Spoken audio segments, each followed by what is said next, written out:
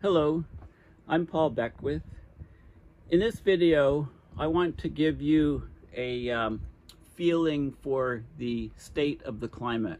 So, you know, what's been happening the last little while um, in all aspects of climate change. So I find that the one of the best ways that I can do that is to just uh, reverse chronologically go through um, the work that uh, Dr. Peter Carter has done uh, with his uh, Climate Emergency Institute that he started. And he spends huge amounts of time and in an analysis of uh, recent scientific papers, and he puts together, you know, images summarizing, uh, you know, what he sees, and uh, you know, he he produces copious amounts of material, and it's all really, really good stuff to give you an understanding of what's going on with climate change. So without further ado, um, I'm going to go through um, some of his recent work. Just work my way backwards from his latest post. So this is on Twitter. You can follow him. Um, P. Carter Climate on twitter.com. Okay, so this is his feed. Um, so basically, okay, so 15 hours ago he posted, highest impact marine heat waves increased 20 times. The duration, intensity of most impact of the lar of large most impactful marine heat waves has increased more than 20 fold as a result of anthropogenic climate change. Okay, so let me just look at the link here. Um, so here we go in the abstract. So this is very, very significant. Marine heat waves are periods of extremely high ocean temperatures in specific regions. They've occurred in all of Earth's ocean basins over the past two decades with severe negative impacts on marine organisms and ecosystems. Okay, so what they do in this paper is they show that the occurrence probabilities of the duration, intensity, and cumulative intensity of most documented large and impactful marine heat waves have increased more than 20-fold as a result of anthropogenic climate change. So marine heat waves that used to occur only once every hundreds of thousands, hundreds to thousands of years in the pre-industrial climate are projected to become decadal to centennial events under 1.5 C warming conditions relative to pre-industrial. And with 3 degrees Celsius warming, they notch up even more and they become annual to decadal events. Okay, so there's, uh, let's just have a look at the image here.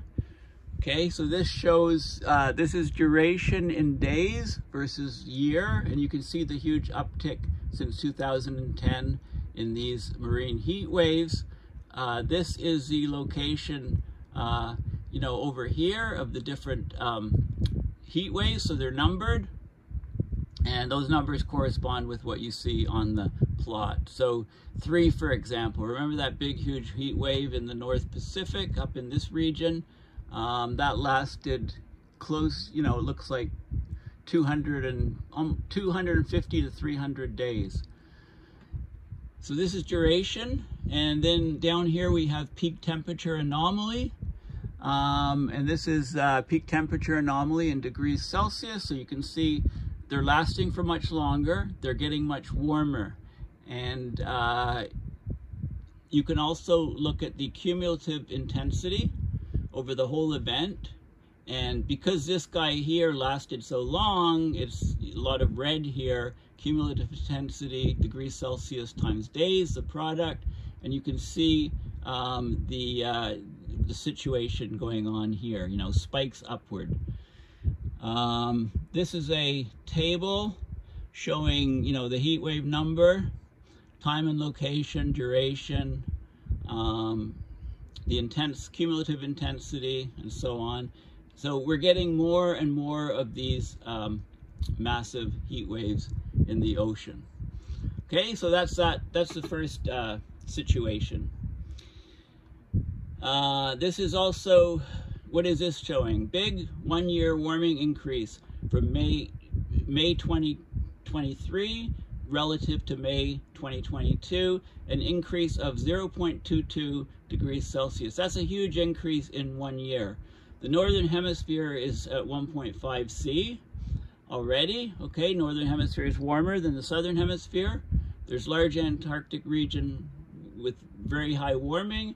We need to stop heating, therefore we need to stop burning fossil fuels for our future survival. To do anything else is criminal. So this is the graphic here. So this is May 2023. Um, and you can see it's relative to the 1951 to 1980 baseline. It's 0.94 degrees Celsius. Um, and uh, what you can see here is you can see the Antarctic warming here. And this is a view here of the Arctic. You can see warming, this is Greenland here. You can see huge warming in two big areas, which are these two. And the Antarctic, you can see the huge warming here. Now this is relative to the 1951 to 1980 baseline.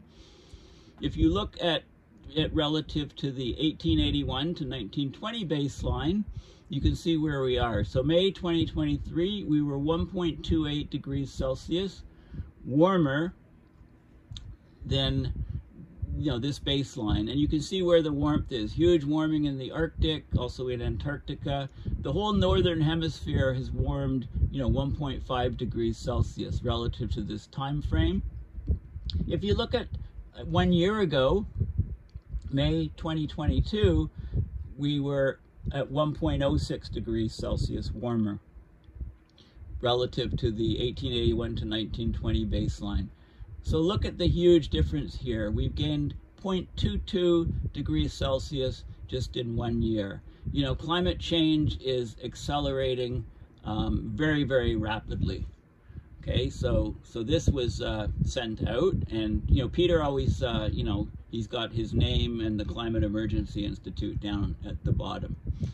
Okay, so world sea surface temp surface is running hot in many regions. Much of the sea surface temperature is far above normal. China Sea hotspot last summer. Atlantification of warm water entering the entering warming the Arctic shows on the Arctic view the, is an added factor in the sea ice melt. So the Arctic is being attacked on all fronts. It's being attacked by warm air, by warm water. Okay, so this just shows a, this is June 22nd, 2023. Um, this post was June 23rd, um, so this post was just yesterday. This is Climate Reanalyzer. You can Google Climate Reanalyzer. You can get this data and look at the, so we've got the warm ocean in warm equatorial Pacific. This is the El Nino kicking in. But look at the warming here up in, in the North Atlantic, the UK, you know, off Europe. Um, this whole North Atlantic is, is setting exceptional temperature records with warming. Um, and this is the China Sea over on this side. Um, and it set records uh, last year. And this is the sea surface temperature. Um, this is the date.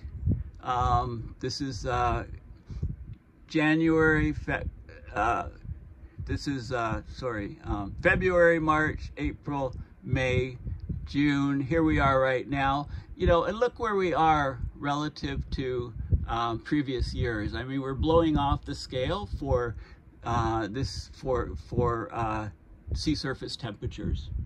Okay, we're just we're just way off the scale. That's that's uh, sea surface temperature for the world, and this is from uh, 60 degrees south to 60 degrees north. Um, I believe it says. Okay, so let's just keep going. Um, more on the North Atlantic marine heat wave. Around the UK, it's reached 5 degrees Celsius above normal.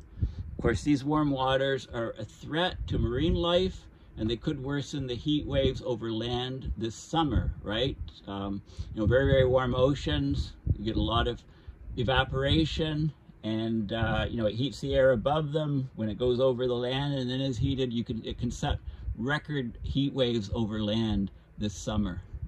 Okay, so sea surface temperature west of the UK is at the highest category marine heat wave. Scientists are astounded not only by how much the North Atlantic waters have warmed during the past month, but also how early in the year the heat wave is occurring. Okay, and again, the warm waters are a threat to marine life, could worsen heat waves over land this summer. 5 degrees Celsius, 9 degrees Fahrenheit above normal. The warmest the ocean's been in 170 years.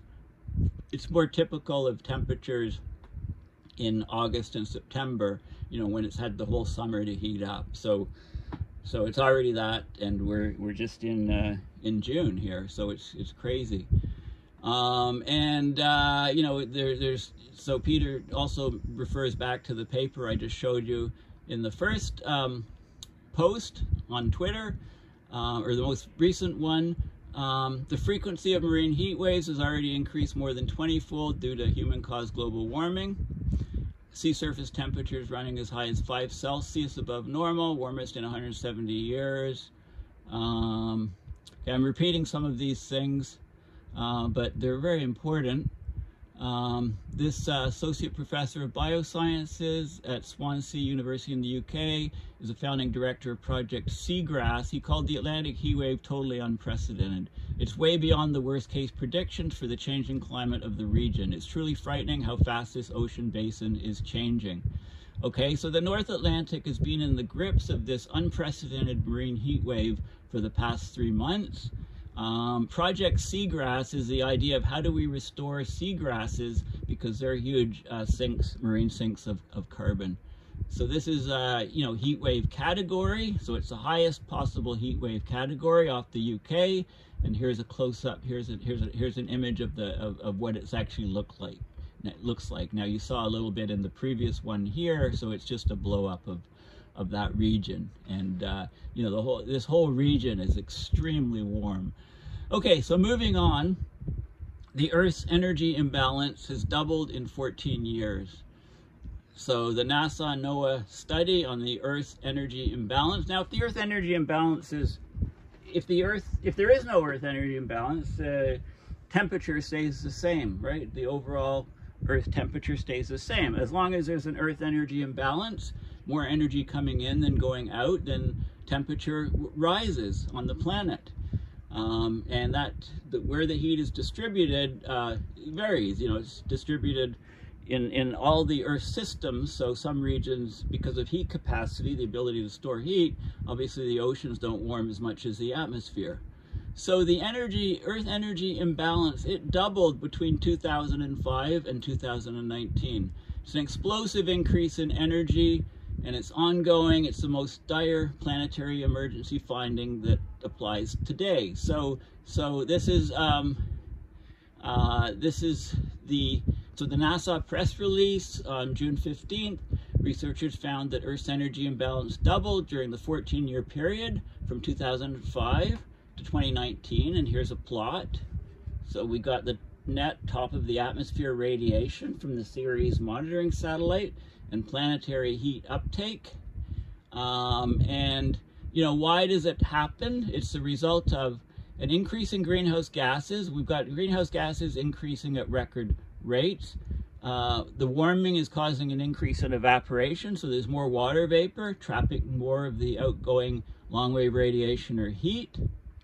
There's a decrease in clouds and a sea ice decrease, so the Arctic is turning much, much darker, but also a big one, according to James Hansen, in um, you know his recent uh, excellent paper, Global Warming in the Pipeline. Um, it's the loss of of uh, aerosols. We've reduced aerosols in shipping traffic, for example, and the aerosols create low-level clouds and block some of the sunlight uh, from heating the earth but removing the aerosols too quickly and we have this Faustian bargain where, where surface temperatures greatly increase. So that's probably, that's a big factor that's, that's happening too. It's not mentioned here. Okay, so let's move on. Professor Eliot Jacobson, another great person to follow on Twitter. Your moment of doom for June 22nd, 2023. Okay, it is now clear that Earth's climate system is way out of kilter and we should be very concerned. So here, here is the, um, here's watts per square meter of increase um, and it's basically from this paper here. So we can click on this paper here. Global average sea and air temperatures are spiking in 2023 before El Nino has fully arrived. So this is the Earth energy imbalance, 36 month running mean from February 2003 to March 2023. And you can just see you know, the, the, the rise up. I mean, there's some variation up and down, but the trend is huge. So there's been recent spikes in ocean heat content, global air temperature. You know, scientists are scrambling to find the cause. The global average air temperature relative to 1850 to 1900, it exceeded the 1.5 Celsius lower Paris Agreement threshold during part of March and the first days in June. This last happened in 2020, and before that, during the 2015 to 2016 El Nino that was powerful. Okay, uh, and these things are happening now before the El Nino event, not during it. So we're really out of kilter here. Um, and uh, yeah, basically, and then it goes on. I, I don't, I'm not gonna um, go through all of the details, but you know, each the, the, most important ones. By the way, if you see if you see something that you think is vital that I do a separate video on, I can go and analyze it and look at the scientific paper and do all those details. But right now, I'm giving you sort of an overview from what Peter has has put together and, and tweeted. So we're up to uh, we're still on yesterday here. Current policies lead to an unlivable future. Current policies lead to 3.2 Celsius by 2100. This is the IPCC Assessment Report 6, Working Group 3. Unlivable, higher after 2100. 1.5 C is globally disastrous, 2 C is global climate catastrophe, and we're heading to 3.2. Okay, so this is the um, this is the projections for the different scenarios. It's relative to 1850 to 1900, global surface temperature change, and then the different um, socio the, the, different SSPs, uh, uh, pathways um, in the IPC reports, the latest assessment. So what you can see is the high-end scenarios are taking us, you know, really, really high. I mean, this is uh, passing uh, you, you, know, look at the, this is passing 3.2 by 2100 um, is, is the current policies. And then you've got these scenarios, um, you know, whether we cut emissions or continue where we're going and, you know, we're reaching some hugely high temperatures.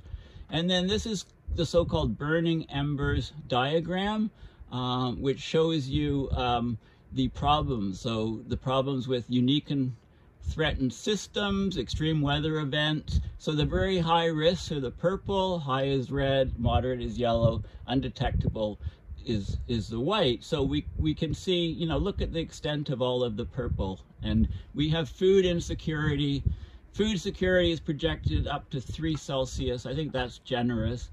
At 3 Celsius, all crops in all regions are in decline. Okay, this is just what they're saying. So this is this is where where we're at. This is from the IPCC AR6 report. Okay, why on earth is sea surface temperature soaring? It could be the insane amount of heat that's been added to the ocean and is still being added to the ocean that maybe that maybe was not so convenient for us. So rapid rising sea surface temperatures still. And here's some images. Almost all of the added heat resides in the Southern Ocean, but in the North Atlantic, sea surface temperatures increasing fast. Okay, in 2006, uh, James Lovelock, right, the founder of the Gaia hypothesis, he said that ocean heat would feed back. The amount of heat put in the world's oceans in the past 25 years equals 3.6 billion Hiroshima atomic bomb explosions. That's seven bombs, or seven to nine bombs are added every second now.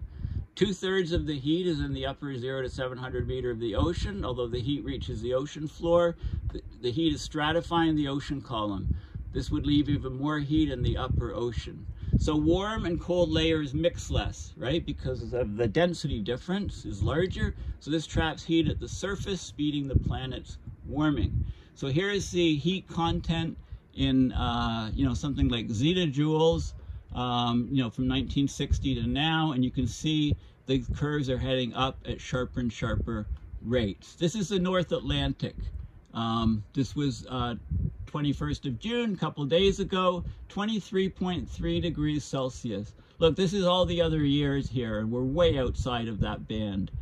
You know, this is the overall world ocean between 60 south and 60 north in latitude, and you can see 20.9 Celsius on 21st of June, right? The oceans are going, going bananas in terms of heat.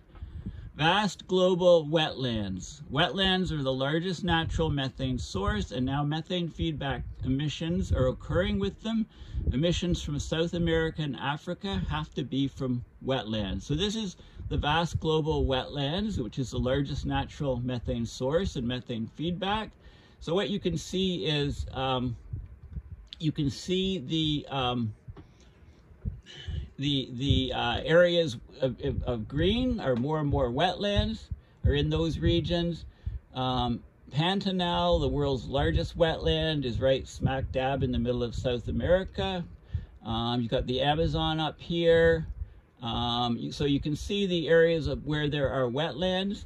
And um, the global inland and coastal wetlands cover over 12.1 million square kilometers, or almost as large as Greenland. Human-made wetlands, largely rice paddies and reservoirs, are about 12% of the total wetlands. And here's uh, Copernicus with the methane readings. Um, and you can see, you know, you can match up and see where the methane's coming from. So the Amazon rainforest, wetlands over here, you know, and the reds are spiking up to over 2160 parts per billion for, for methane. So, you know, these are uh, you know, wetlands in bays and, and uh, along coastlines are the yellow. The yellow along the coastlines. Um, islands with substantial wetland area are is circled. I don't see where where that is. I guess it's right here, for example. There's it's too small to show up on the map, so it's circled. And then mangroves. These are these are mangroves as the uh, is the uh, light green areas. Um, and, uh, well, yeah, I, I, think so. Mang well, I mean, you're not getting mangroves in the central area, but but anyway, um, these are these are wetlands. So wetlands are predominant in these areas. More in, more in um, large numbers of them in in the darker green areas. Okay, so uh, small mobile friendly state of our climate site, regular updates. Okay, so let's just have a quick look at this and see what we get here. Um, state of our climate. Okay, so this is Peter's, uh, he's added a mobile site um, for his, uh, for, for planetary emergency signs. So he's generated, uh, you know, stuff, the indicator data sets, etc. I mean, tremendous amounts of work you know, the oceans, accelerating ocean acidification. Well, let's have, let's go through and see what this is. Okay, uh, CO2 emissions, 36.8 billion tons in 2022. That's from the International Energy Agency. Um, the atmospheric greenhouse gases, uh, so CO2 levels um, at Mauna Loa and methane levels where they're, you know, spiking upwards because of wetland feedback emissions. Um, the uh, atmospheric nitrous oxide, uh, the CO2 equivalent. This is very important. The CO2 equivalent, so this is uh, not just CO2 in the atmosphere, it's uh, you know, it includes the components for methane multiplied by the global warming, global warming potential of methane and nitrous oxide as well. And you can see how this is just, look at the, the huge rise from 1950. I mean, we're spiking up. We're huge. It's 523 ppm. It's almost equivalent to, if you were looking at just CO2, it's like doubling CO2. We're already there you know, from 280 to 560. We're not quite there, but we're getting very close. Global emissions, 36.8 billion tons in 2022.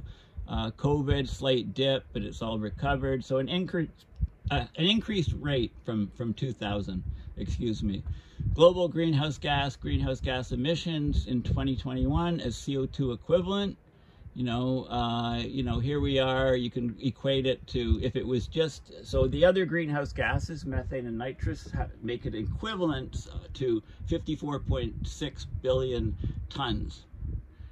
Okay, uh, oceans, um, that's, that's uh, CO2, methane, nitrous oxide. It's also agriculture and land use change. Oceans, accelerating ocean heat. No wonder why the oceans are seem to be breaking. This is zetta joules, 10 to the 21 joules. And you can see, you know, compared to a 1981 to 2010 baseline, you know, it's just it's just heading up. I mean, it looks like it's pretty linear here. Accelerating ocean acidification. The pH uh, is dropping quickly, and the acidif that represents an increase in the acidification. Okay, uh, the oceans absorbed about 30% of the CO2 emissions. Ocean acidification has increased 30% in the past 140 years. The carbon sink efficiency of the oceans has started to decline, according to the Global Carbon Project, and this is because of the warming oceans. There's accelerating ocean deoxygenation.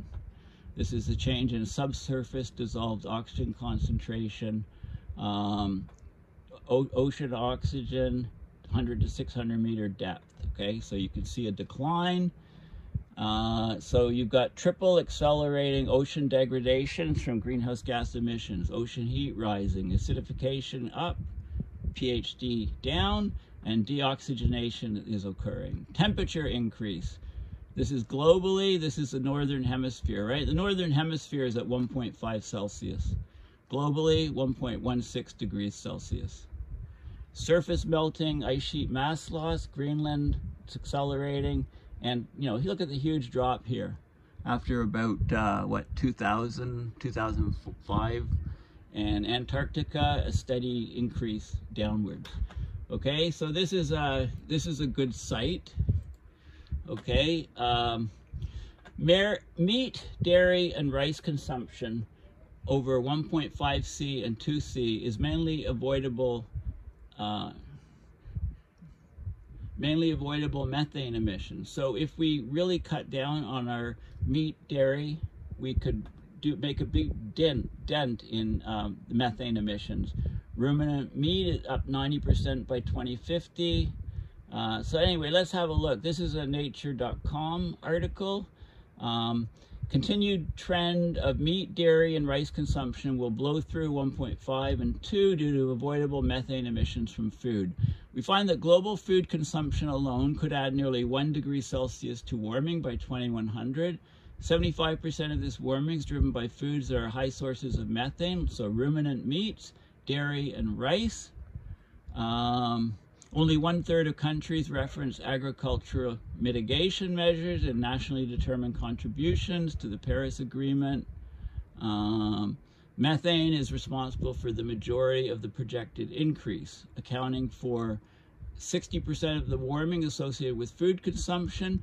About 20% is attributed to each of CO2 and nitrous oxide. So this is the um, this is the increase of temperature just from the methane, uh, CO2, and nitrous oxide in uh, food production. Um, and this shows you some other breakdowns in terms of meat, rice, and dairy uh, in terms of methane emissions. Okay, so let's move on. Uh, heat records. Mexico, Texas, hot as the Sahara Desert. Another heat dome, worse than before and expected to last longer. So this is uh, just from June 21st. Look, it's, it's June 24th. I've only made it back to June 21st. I have to speed up uh, a bit. So the Texas heat wave has smashed some all-time records and there's no relief in sight. Okay, so there was heat building up coming northward out of Mexico. It shifted into higher gear and uh, you know Del Rio, Texas, 113 degrees uh, Fahrenheit, of course. Laredo, 115. San Angelo uh, smashed all-time record, reaching 114 Fahrenheit. 118 at Rio Grande Village. You know, each of these cities is were as hot or hotter than Death Valley, California.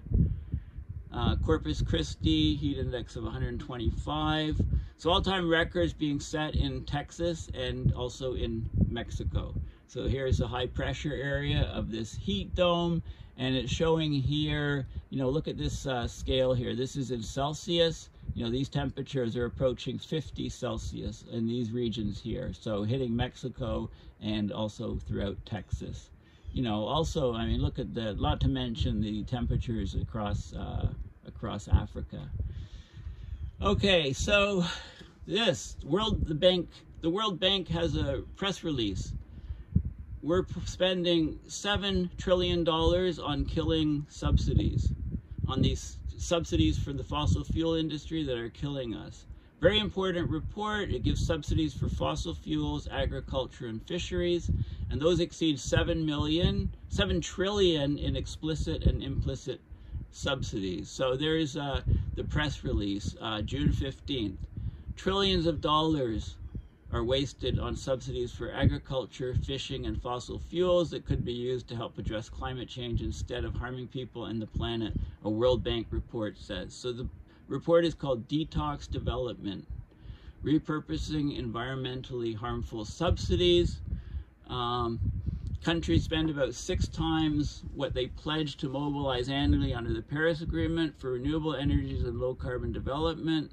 They on on basically subsidizing fossil fuel consumption.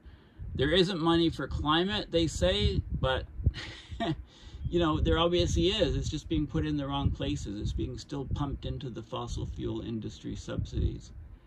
Government subsidies of 577 billion in 2021 artificially lowered the price of polluting fuels like oil, gas, and coal, exacerbating climate change, causing toxic air pollution, etc., etc.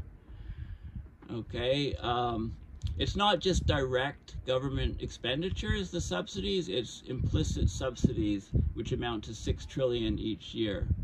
Okay, so basically we're talking about 7 trillion dollars in explicit and implicit subsidies every year.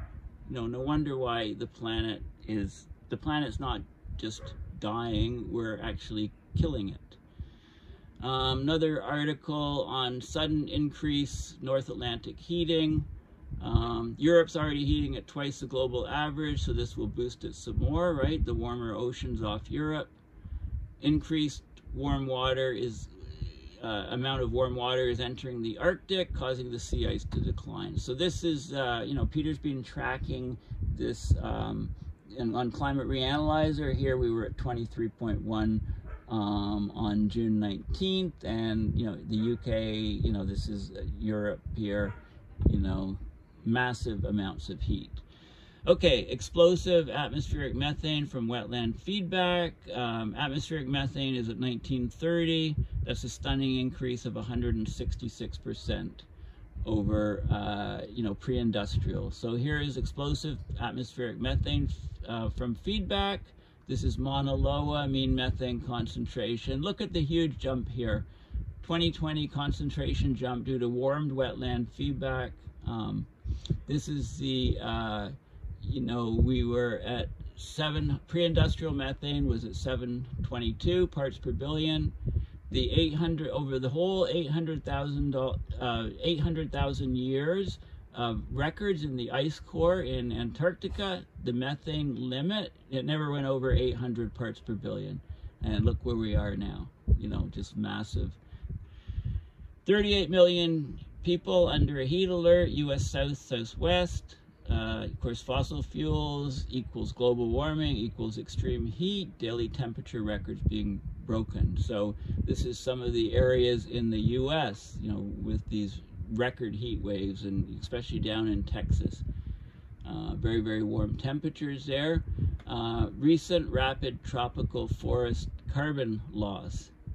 So weakens the forest carbon sink, doubling of annual forest carbon loss over the tropics during the early 21st century. So here's another paper.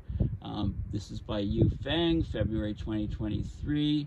Um, you've got large-scale agriculture, you've got forestry, small-scale agriculture, and you can see the areas uh, where there's tropical forest carbon loss. Uh, you know, the Amazon rainforest, Central Africa, central to mid-Africa, the Indonesian archipelago.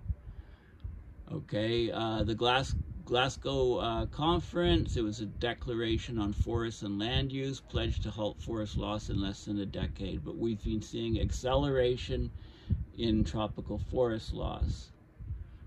Okay, these conferences with promises aren't doing anything. Fossil fuels are not compatible with our survival, according to UN Secretary General Guterres. Um, this was said in June 2023. Um, this is, I think, at the Bonn, uh, early June, the Bonn Climate Conference, where he gave this speech. Okay, so NOAA updated their global atmospheric greenhouse gases, and you can get more detail from here. I'll just go here quickly. Um, right? So they give the updates and you can see the global averages and the global growth rate. This is for CO2, right? So it's just trending upwards. Um, and this is a, a 3D version um, of the, this is CO2 in change with latitude, growth, way, another, another way to depict it. And you could look at methane. Um, you could look at the methane numbers. Look at the huge rise here.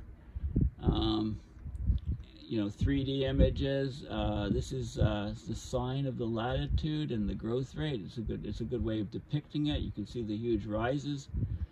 And also for N2O. Okay, and you can also do it for, you can also look at CO, carbon monoxide measurements okay, and SF6. SF6 is a very, very powerful greenhouse gas. So you can see how the levels are rising. It's parts per billion per year, um, global average. Sus oh, this is sulfur, yeah, uh, sulfur hexafluoride. And okay, this is the average, this is the rise, and this is the average growth rate. Okay, so very good, uh, you know, website. Um, so you can see uh, the details on, on greenhouse gases are still growing and growing and growing at ever faster rates. Okay, methane flux shows sudden feedback increase in 2019. Um, and uh, so here's here we have the curve and we can see in 2018 there was this 2019 sudden increase and it's being attributed to wetlands. There's no sign of it slowing down. Increased wildfires in the western U.S. Um, the cumulative area burned by wildfire in the western U.S. with and without climate change. Um, so here we go. This is wildfires without climate change. And this is what we're seeing with climate change. You know, a huge increase in the number of millions of hectares that are burned. Okay, this is Western USA. British Columbia, Canada, largest wildfire ever, Donnie Creek North, 5,343.88 square kilometers. Drought, high temperatures led to record wildfire um, size. And here we go. Uh, here's a region where you can see it, sparked May 12th by lightning. You know, the area has been in drought, high temperature, the previous record was the Plateau Fire in 2017, largest individual fire. Very early start to fire season, as you know. Uh, much of Canada is burning. Um, so this was, uh, you know, situation in BC uh, just, uh, you know, four days ago or so. Okay, so massive fires. Explosive atmospheric methane, now 1930 ppb. Um, okay, this is a this is a, a close-up view of methane change since 2019 and you can see this uh, you know explosive increase due to warming wetlands so 1930 is confirmed as part per billion 1970 still needs to be confirmed so 1930 is confirmed that's this level here but 1970 you know this sort of, this part needs to be confirmed. But again, the 800,000 year ice core upper limit for methane, 800 parts per billion. That's from Antarctic ice cores. Pre-industrial methane, um, that was uh, 722 parts per billion. So we're well, well out of the scales. So atmospheric greenhouse gases have been accelerating. Um, all records are high and increasing at accelerating rates. So CO2, methane, nitrous oxide. Um, in 2021, record values were reached. This is April 2023. The World Meteorological Organization uh, State of the Climate 2022 report. I might, maybe I should do a, a video on this on this report in detail. Um, carbon dioxide is 149% higher now than pre-industrial. Methane 262% higher, and nitrous oxide 124% higher. Of course, Ontario fires, three times more fires than last year. The Canada fires spread to Ontario, right? Started in BC and Alberta, Saskatchewan, and then Ontario and Quebec. Um, you know, here's here's Ontario and all of the different fires, new fires, active fires as of uh, you know June June 19th. Uh, some of the images of fires. Um, the atmospheric CO2 record is, the trend is accelerating, accelerating increase. Atmospheric CO2, global heating, ocean acidification. Current increase is fast, if not faster than ever. Okay, so you can see, uh, you know, the, the, accelerating increase from 1960 to present. Um, and here we are in May, we were 420.57. Canada burns, Ontario, Quebec, fire danger, okay, lots of stuff on fires. The heat alert in the U.S. South, um, you know, uh, Texas and Mexico. Again, uh, the WMO record high sea surface temperatures, seven, six, seven to nine Hiroshima atom bombs per second. Heating the oceans, the equivalent. Um, this is the Antarctic sea ice, the record low. This is the hot Antarctica, was 1.3 Celsius above the, the, the, the 1997 to 2000 average. Here is the sea surface temperature, world temperatures, and the North Atlantic record. So as these continue to rise, um, you know, Peter gives an update. Why we must limit warming to 1 Celsius. Our paper demonstrates the tools, technology, uh, the, the tools. Technology exists to achieve safer, healthier, prosperous future economically is economically viable. Proposing a 1C target. So there was a paper here, um, just have a quick look at it. Limiting global warming to 2C is not enough. Why the world must keep temperature rise below 1. Okay, so there's a recent research paper on this and how we can possibly maybe, uh, you know, head back there. But Okay, so CDR, they've got carbon dioxide removal, okay? I mean, there's no other way of doing it. Um, so they call for a broad scientific discussion about a stricter and more ambitious climate target of 1 Celsius by the end of this century. So saying 1.5 is not enough, we need rapid defossilization, large-scale electricity-based carbon dioxide removal, and I think uh, we'll have to have solar radiation management as well. So these technologies don't exist yet. Um, the EU Scientific Advisory Board on Climate Change Strategies advised 90 to 95% greenhouse gas reductions by 2040. Um, that would be a 35% cut on 2030. That so we have reductions for 2030, but you know we need larger reductions. Okay, so they give some of the um, curves of what the emissions need to be, you know, when in order to possibly, uh, you know, reach some of these these these targets. You know, more on the wildfires and the, the number of fires, areas burned, etc., etc. Um, dying, dying, drying boreal is losing the carbon sink. So the yeah, as we're as Canada is warming faster and faster, getting drier and drier, the tree mortality has been accelerating with a declining carbon sink. The tropical forests have lost carbon sink, right? Think of the Amazon rainforest. Many years it's no longer a carbon sink. So only the boreal remains, plus of course phytoplankton in the ocean. So this is these are drought indices and tree mortality rates. Um, and uh, you know it shows where the trees are being stressed. Um, this is the average annual biomass change rate throughout Canada's boreal forests. So biomass is being reduced, and uh, there's a lot of details that you can find uh, in the actual uh, in the actual paper there. So um, problem right now with that site. Okay, world fires, location and heat. World fires radiate heat. Um, they emit CO2, methane, nitrous oxide, volatile organic compounds, and black carbon. The largest fires by far and intense are Af Africa crop residue burning, creates the largest fires by far and the most intense fires. So this is a very bad year for Canada. Look at previous years, 2022, 2016, to 2021, different curves. I mean, already we're, we're spiking up. U.S. smoke pollution, of course, way, way up. So we've got the boreal forest fires going up here, and look at the, there's fires down here in, in Africa, huge fires. Um, Africa always by far has the largest fires lasting many months. The African heat radiation is enormous.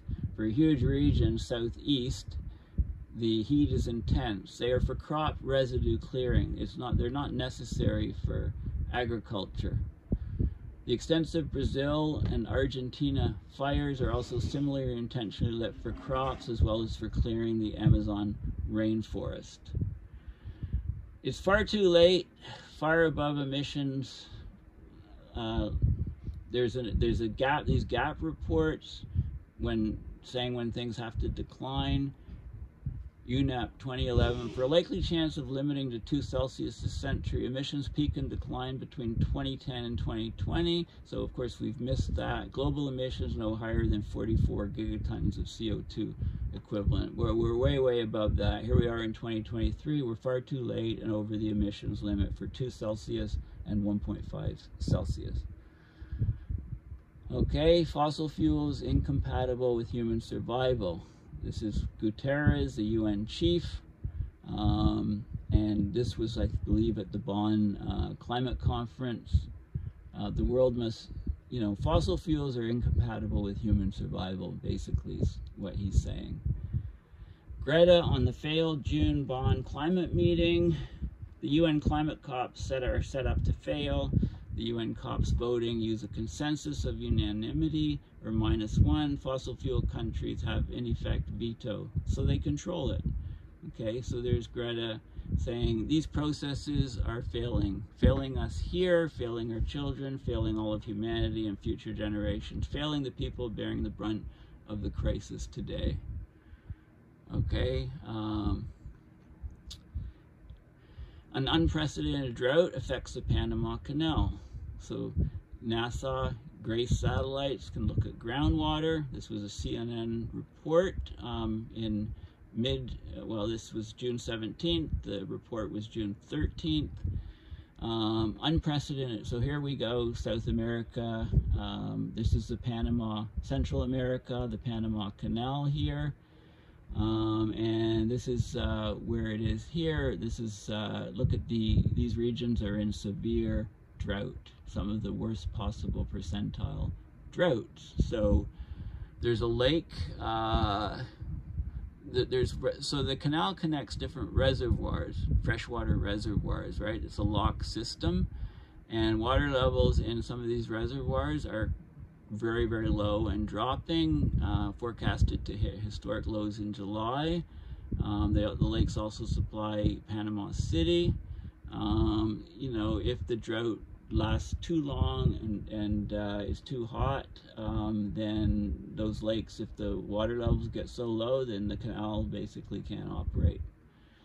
Texas, Louisiana, 25 million people, dangerous heat alert. You know, another heat alert in the U.S. Here's greenhouse gas emissions by sector.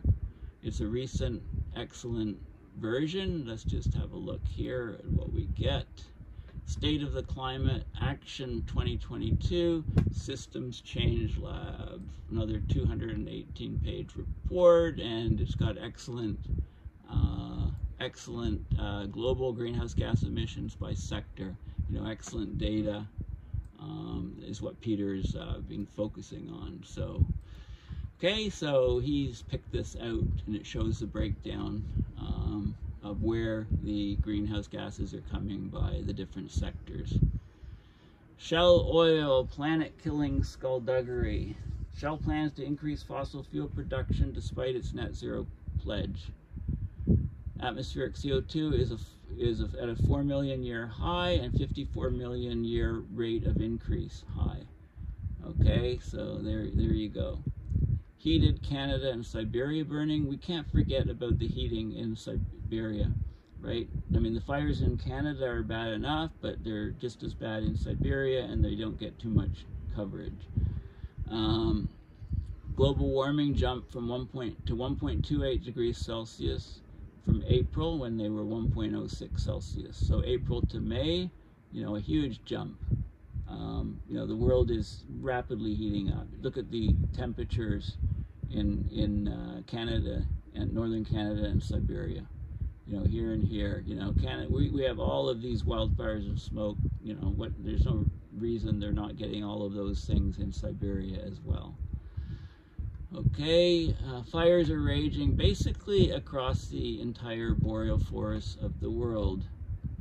Okay, um, there's no let up in the fires. You have there's a double whammy, right? Because you're not only are you taking all the embodied carbon in the wood materials of fires that are burning, but you're also destroying the sink, the carbon sink. These forests absorb huge amounts of CO2 yearly, and when they're burned, of course, you lose the carbon sink. The boreal forests are the largest forests on Earth, on land, you know, and they're the biggest carbon sink. And, uh, you know, they do a lot of work in removing large parts of CO2 that we emit. So that the CO2 rise in the atmosphere is not even higher. And, uh, of course, the phytoplankton or the ocean version that does that too. World Bank confirms relocating fossil fuel factory farm subsidies. Um, subsidizing greenhouse gas pollution is the most manifest evil ever.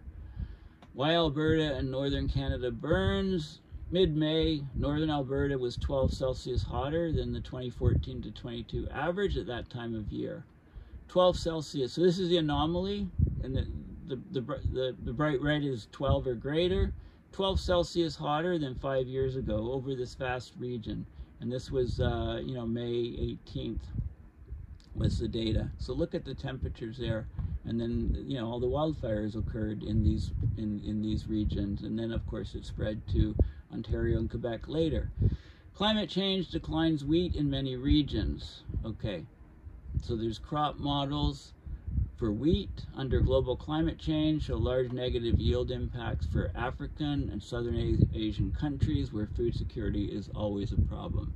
So this is uh, RCP 8.5 and the yield changes um, right? So huge declines in these regions.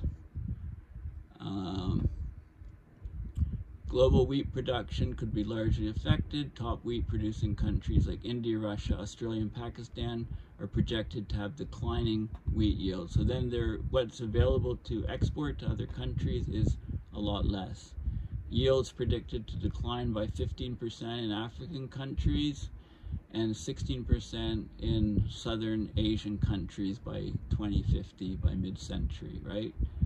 Um, global warming breached 1.5 Celsius on a day's basis in 2016, 2020, and 2023. So this is tracking breaches of the 1.5 C global warming threshold. Um, so here's the, this is the 1.5 C, is the dashed line, so anytime the temperature spikes above, you're exceeding this 1.5 C. So here's, uh, you know, here's January through July for for different years. We've got 2016 here. We've got 20 is the blue. We've got 2020 is the brown, and and the dark brown or or even reddish is 2023. And this is the 1.5 line, and you can see when we've breached it, and we're breaching it more and more often. We reached 1.9 Celsius in 2016. That there was a large El Nino going on. We've reached 1.65 already, and the El Nino is just getting started. So if we exceed, you know, we're gonna it looks pro we're probably gonna go way way up. Okay, uh, climate change, U.S. dystopic bad news. Heat alerts, toxic wildfire smokes, barrage of damaging storms um, in the U.S. South tornadoes, etc., toxic smoke warning, warnings. Pre-COP, UN Bonn climate meeting fails. Rich countries fail to deliver promised and required assistance to poor and vulnerable countries. There seems to be unlimited funds for war, not to prevent global climate catastrophe, which is coming up fast. Okay, so this is, uh, you know, some information on the, the pre-COP28 uh, meeting you know, it's becoming like a broken record, all of these failed climate conference. Canada fire weather maps, you know, this was from mid-June uh, forecast. Alberta and Quebec surface heat and surface drought. Okay, so this is temperature anomalies. Um, we know Alberta was very bad. Uh, here's Alberta again, June 5th. This is soil, surface soil moisture from the GRACE gravity anomaly satellite and also Quebec uh, getting there uh, as well, parts of Ontario.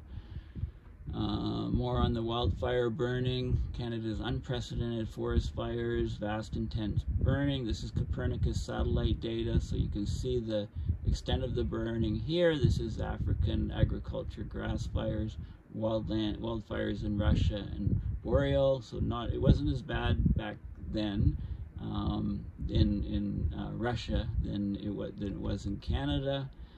Um, cumulative CO2 emissions. USA is by far the most in, increasing fast. China's catching up. Slight slowing in the EU and UK, increasing for all countries. This is global suicide scenario, basically. So here we got cumulative CO2 emissions, billions of tons of CO2 from 715 to now. So this is the US, of course, leading. Our World in Data is a great data site. Data site. The EU, China is catching up fast.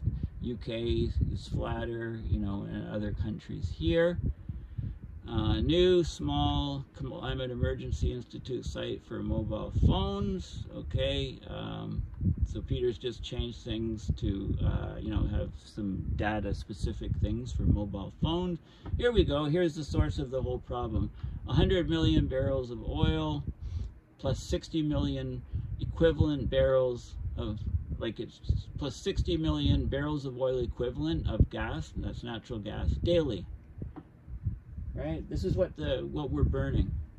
Fossil fuels stayed about 80% of world energy for decades.